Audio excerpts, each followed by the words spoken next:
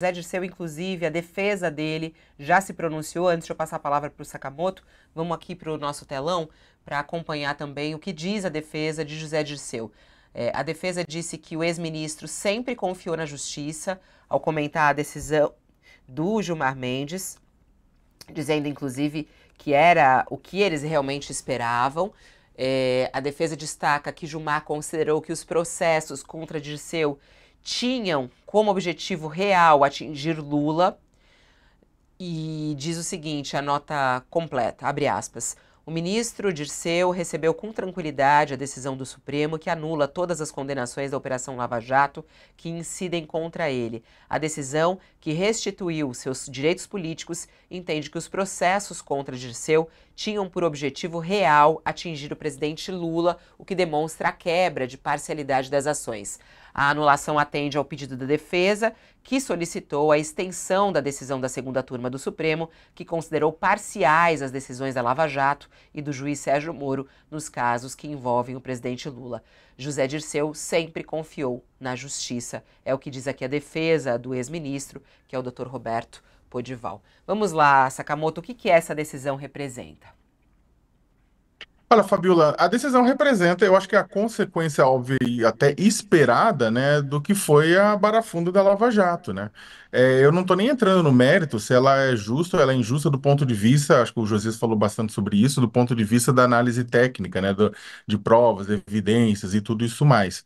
Mas isso é, de certa forma, é um recado que acontece quando a justiça ela tenta, na verdade, é, ir além do que permite a lei né? Eu, e o, a, a, a decisão favorável de seu, teve várias outras pessoas que também tiveram decisões favoráveis, tem outras pessoas que vão ter decisões favoráveis. É basicamente o seguinte: você tinha problemas, os problemas eram reais, né? Só que no afã de tentar caçar o caçar, atingir o presidente da o ex-presidente Lula na época, foi feito muita coisa. No afã de também tentar tirar do ar uh, nomes uh, relevantes da cúpula do PT, né, foi feito muita coisa. Eu não estou entrando no mérito, por exemplo, se nomes que estavam foram condenados estavam eh, tinham feito ou não tinham feito mal feitos, evidência, etc e tal. Não, eu estou entrando na questão anterior, porque nada disso, no final das contas, acaba sobrevivendo quando a justiça, quando os atores da justiça, Sérgio Moro, a força-tarefa da Lava Jato, arvoram para si né, a percepção de que eles estão acima do Código Penal, do Código de Processo Penal, da Constituição brasileira. Né? Ou seja, quando uma força policial. É a mesma coisa é o seguinte: se você vai, chega numa, num, num local, é, é, acaba encontrando, por exemplo, uma boca de fumo ou, ou, qualquer coisa do tipo. Só que o policial faz isso, invade sem mandado, ele espanca todo mundo, ele, ele planta a prova. O que, que acontece com aquilo? Aquilo é anulado. Não tem uma, não tem como, né? Aquilo é anulado. Né, toda a ação estatal em cima disso acaba sendo é, é, deixada de lado. E este é o problema, e é isso que a gente avisou lá atrás, lá, em dois, lá no início da Lava Jato, quando a Lava Jato começou a, a fazer coisas que não estavam na cartilha, a gente avisou, falou assim: o combate à corrupção no Brasil é importantíssimo, é relevante demais para ficar nas mãos de pessoas que se acham acima da lei. Não pode, isso vai dar problema lá na frente. E aí o pessoal falou, deu de ombros, tem gente que falou não importa, tem gente que falou é, vamos fazer o que for necessário, e tudo isso mais, e aí deu no que deu. E ainda não terminou né? Ainda vai ter muita coisa. Agora, eu eu, eu, eu sei que, tipo, eu concordo com o Josias, assim, que a decisão da forma como é tomada pelo próprio ministro Gilmar Mendes merece críticas, a gente precisa até discutir isso, essa é uma questão que, inclusive, eu só não vou dizer que o Congresso Nacional vai, com base nisso, falar, olha, uma adesão monocrática, tudo isso mais, vamos, vamos aprovar a lei que limita, desse, a, a emenda constitucional que limita decisões monocráticas do Supremo, porque o Congresso, esse tipo de decisão monocrática, o Congresso gosta. Porque são decisões monocráticas que podem, inclusive, liberar o pescoço de deputados e senadores, como aconteceu com o próprio Gilmar Mendes e o Arthur Lira. Naquele caso da investigação da, dos kits de robótica em Alagoas, que o negócio, de repente, foi para estaca zero de novo. Né, por uma decisão do Gilmar Mendes também. Então, eu acho que tem um ponto que é o seguinte, é, e aí o Congresso Nacional bate palmas. Então, ou seja, aquela questão de que o Congresso Nacional critica a decisão monocrática do Supremo depende da decisão monocrática do Supremo, né? Só que eu acho que isso, na verdade, é, é, é novamente é um ensinamento para gente, sabe? É, e eu acho que sim, eu acho que tem que se é, fazer, a, tem que se criticar Gilmar Mendes, tem que se criticar toda essa, essa doideira, mas, ao mesmo tempo, na minha avaliação, os principais responsáveis por a gente estar tá chegando onde a gente chegou neste momento, sendo que poderia ter sido tomado um caminho diferente, é Sérgio Moro e a força-tarefa da Lava Jato. São eles os responsáveis, em última instância, por essa absolvição agora. Essa absolvição não, por esse, pela anulação de julgamento. É, a gente já começa a ver as repercussões em relação a essa decisão de Gilmar Mendes, e inclusive um dos personagens disso, o senador é, Sérgio Moro, ex-juiz, que foi até, como você disse aí, o grande responsável por tudo que aconteceu na consequência né, em relação à Lava Jato e a má investigação e o andamento disso da forma judicial, como aconteceu. O que, que, diz aqui o Sérgio Moro nas redes sociais? Não existe base convincente para anulação de condenação de José Dirceu na Lava Jato. Além da condenação anterior no mensalão, foi ele condenado na Lava Jato por três instâncias, inclusive pelo STF. Segundo esses julgados, a prova documental do pagamento de suborno oriundo de contratos da Petrobras. Todos esses magistrados estavam em conluio? Pergunta ele. Um conluio do qual não há registro ou prova, apenas uma fantasia. O combate à corrupção foi esvaziado no Brasil sob a bênção do governo Lula e do PT. Vamos lá, Josias, analisando aí as palavras de Sérgio Moro, faz ataque aos magistrados, fala sobre, claro, o governo Lula e o PT e tenta livrar de certa maneira a barra dele, dizendo aqui sobre as provas relacionadas ao envolvimento de Dirceu. Como é que você analisa o que, que tem razão ou não Sérgio Moro nessas declarações?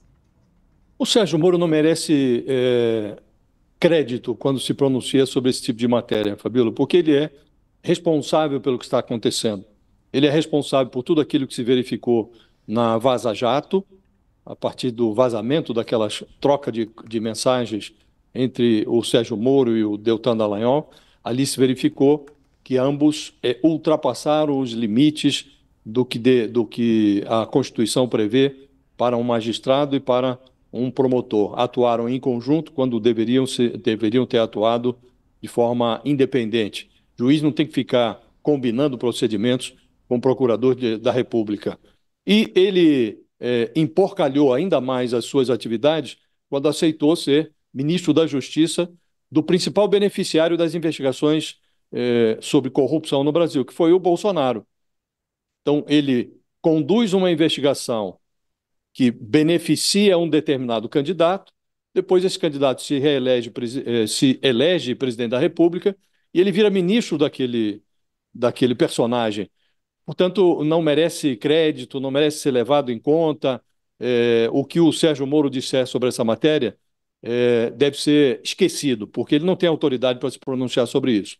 O que chama a atenção em relação a todas as decisões que o Supremo vem tomando é o fato de que a, a desmoralização eh, do, de investigadores, do juiz e dos promotores não anula o que foi descoberto. Isso está lá nos processos e o, o, no início do, dos procedimentos todos, as condenações começaram a ser anuladas pelo Supremo sob o pretexto de que aquelas anulações não significavam absolvições, uma vez que o Supremo considerou que o Sérgio Moro era um juiz suspeito e, portanto, os processos não deveriam eh, ser julgados por ele.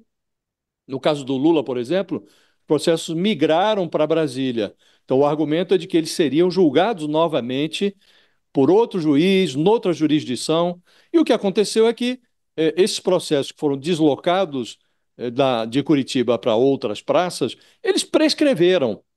Então, não houve absolvição é, cancelou-se a condenação sob, no pressuposto de que haveria novo julgamento, e esse novo julgamento não aconteceu, porque houve, sobreveio a prescrição. Agora, utilizam-se esses, essas primeiras anulações como pretexto para anular tudo, para anular todo o resto, sem entrar no mérito dos, das acusações que constam dos processos.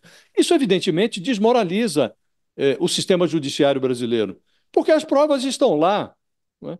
E elas foram é, é, de conhecimento público, a sociedade sabe o que se passou. Então, é, o Zé Disseu, por exemplo, ele, ele foi enrolado no Petrolão, mas ele era um reincidente, porque já havia sido condenado no mensalão. Puxou cadeia no mensalão. Ele foi em cana. De novo, é, condenado no, no Petrolão. De novo foi para cadeia. Então, o Zé Disseu, que foi um, no passado remoto, um revolucionário líder estudantil que lutou contra a ditadura. Ele, esse, essa imagem desse José Disseu é, revolucionário, ela se perdeu nos desvãos da história. O Disseu atual, já com as marcas aí no rosto, inclusive, da passagem do tempo, é, ele é, se perverteu. Né? Ele se deixou levar pelo, pela cobiça quando ocupou cargos no, no governo Lula e mesmo depois, fora do governo. Né? Então, as provas estão lá. Se você anula é, a condenação, a, se você fecha os olhos para as provas que estão no, nos autos, isso não faz com que as provas desapareçam. Portanto, há uma desmoralização. Há uma desmoralização do sistema judiciário e há uma desmoralização também das pessoas que observam isso, correligionários do José Disseu, companheiros de esquerda, e que acham tudo normal. E aí há uma deterioração do, do, do campo político que é, é, integrado pelo Dirceu. O Dirceu já está reintegrado a propósito na vida partidária do PT. Em março, o PT estava fazendo aniversário e lá estava o Zé Dirceu na festa. Mais do que o Zé Dirceu, estava o Delúbio Soares, que era o tesoureiro na época do mensalão. Então, esses personagens todos que compõem essa triste fase do PT, eles foram reinseridos no, no, na vida partidária sem nunca ter sido excluídos. Obviamente, isso custa, isso traz um, um prejuízo político que não é pequeno e não desapareceu. Né? E ignorar isto, ignorar as evidências, não faz, insisto, com que as evidências desapareçam. Então, é tudo muito lamentável, Fabiola. A gente tem aí muita repercussão em relação a essa decisão de Gilmar Mendes sobre José